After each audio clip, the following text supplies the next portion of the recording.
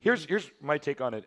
Why did when they were on two base, they were both on two bases. Okay, uh, he did this drop that was controlled beautifully, and he killed the expansion. Why is he pushing on two base when the Zerg's on two base? If the Zerg's on two base, the Zerg is already behind. That's the perfect question because he was he was in position to even take Yeah, a third base of you his don't own. He had to- enough units. You do not need to end the game or try to end it. You just wait for him to make an, an, another third base, and then you attack it again. Okay, we're gonna go. This is the point, Check out Tasteless, the that you were just talking mm-hmm. about. The third base has just been destroyed. Yeah. Marine King Yeah. decides that he's going to go for a push. He And wants to kill this. Now, look at the positioning there. The Zerglings cannot surround. Just beautifully done. As soon as the Mutas came over, he started targeting them, so the Mutas had to fly away. And then the rally comes up, and suddenly it's like, oh my god, is MKP actually going to win? But let's not forget, there are still Zerglings on the map. Notice he just made them run through the bottom of the screen so that they're behind.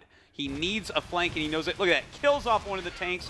Huge move when you have a lot of speed banes coming down. Now, this is okay. Now watch carefully, guys.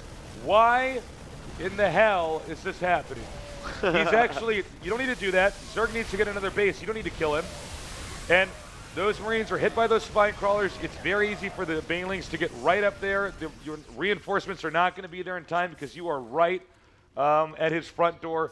All he could have ran around the middle of the map all he wanted uh, Yeah. with that army and scared DRG and made DRG stay on two bases for a long time. But instead, he did what we've seen Marine King Prime do multiple times, which is just suddenly try to end the game.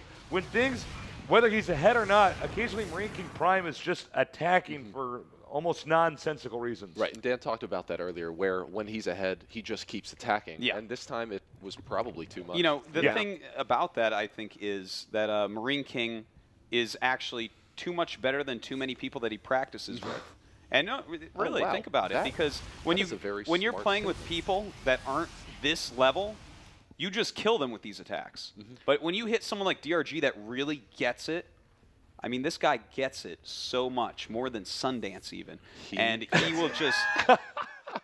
he understands, all right? He knows what's going on, and he is not going to lose to this type of play. You have to play strategically soundly to defeat that.